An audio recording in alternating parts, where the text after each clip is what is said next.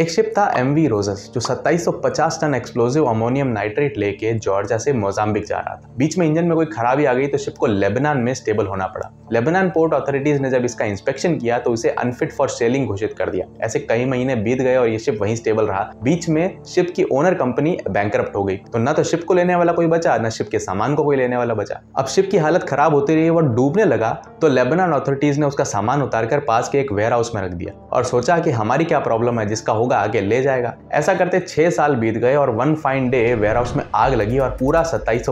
ton explosive एक साथ blast हो गया ये ब्लास्ट इतना पावरफुल था कि इसने 3.3 मैग्नीट्यूड का अर्थ को एक ला दिया पूरे लेबनान में और 250 किलोमीटर दूर साइप्रस तक इसके ट्रेमर्स देखने को मिले इसे अब तक का most powerful non nuclear explosion कहा जाता है इसने लगभग 218 लोगों की जान ली और लगभग तीन लाख लोग बेघर हो गए तो कहते हैं ना कभी कभी दूसरों की प्रॉब्लम को भी अपना समझ लेना चाहिए